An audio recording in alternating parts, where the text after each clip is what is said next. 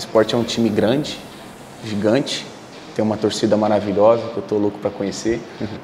Sentir esse, esse casar, casar, casar, né? Ou na ilha, ou na Arena Pernambuco.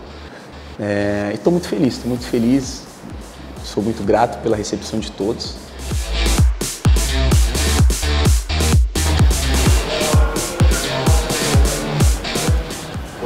Dia, bom dia pessoal. Bom dia. Bem? Eu cheguei no complexo aqui do esporte, CT, né? Para fazer as primeiras avaliações. Gostei muito da estrutura, todo mundo me recepcionou muito bem. Né? Já estou me sentindo assim em casa, né? Entre aspas, né? Por mais que ainda não tive contato com todos, mas já estou me sentindo em casa. Bien, hermano. ¿Qué tal, hermano? Bien. Bien, bien. Eu tenho um, um amigo em comum aqui, que é o Wellington Silva, que a gente jogou junto no Cuiabá. Também tenho, temos, tenho amigo em comuns com o Fabinho, né? não, segui, não joguei com ele ainda, não, não, não conversei ainda com ele pessoalmente, que, mas foram pessoas que falaram muito bem dele, né? da pessoa dele, do caráter dele.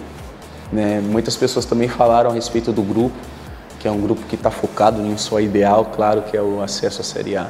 Me receberam muito bem, me fizeram ter esse, já esse início de sentimento de, de estar em casa. Eu acho que isso é primordial para quem chega, né? Para você se adaptar, quanto mais rápido você se adaptar ao ambiente, mais acho que você pode doar e se agregar e, agregar mais no grupo, né?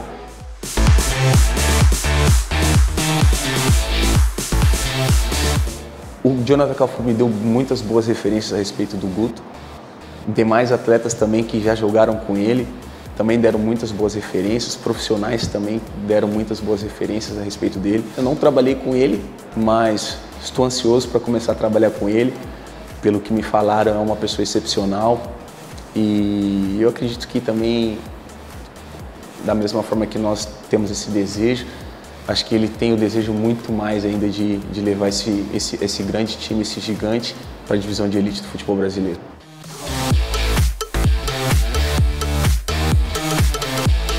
Eu andei um pouquinho, né? É, fiquei nove anos fora do país.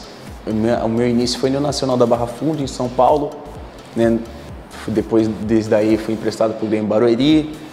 Depois fui para o Independente de Limeiro. E depois me mudei para a Turquia. Né? Joguei dois anos na Turquia. Aí voltei em 2022, 2023 para o Cuiabá. Disputei a Série A pelo Cuiabá, fizemos uma boa campanha, permanecemos, pegamos vagas para a Sul-Americana. E apareceu a oportunidade né, do projeto do esporte. Acreditei no projeto, acreditei na, nas palavras e tenho certeza que das palavras desse projeto eu acredito que vai se tornar realidade. E hoje estou aqui no esporte. Primeiro clube Nordeste. Na verdade, é a primeira vez que eu venho para o Nordeste. Porque assim, eu vivi muitos anos fora do país, né? Então assim, a minha esposa sempre falava, ah, vamos, vamos para Porto, Porto de Galinhas e tal, faz as férias lá e tal. Só que aí no fim a gente sempre trocava. Então é literalmente a primeira vez que eu estou vindo para o Recife, para Recife. Já amei, já amei. claro que a, a nossa chegada aqui é com o intuito de agregar nesse sonho que todos todos nós estamos aí, que é o acesso à Série A, né? Pela grandeza do esporte, a camisa, né? O peso da camisa que o esporte tem.